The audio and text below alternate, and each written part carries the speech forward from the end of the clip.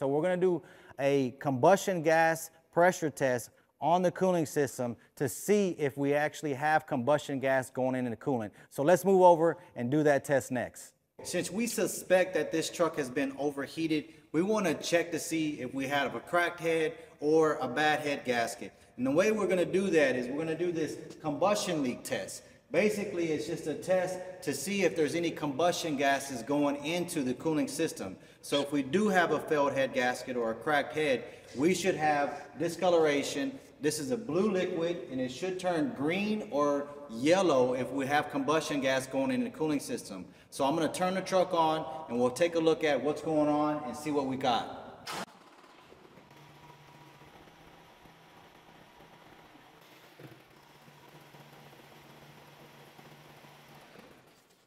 So the combustion leak test did not indicate that we have combustion gas going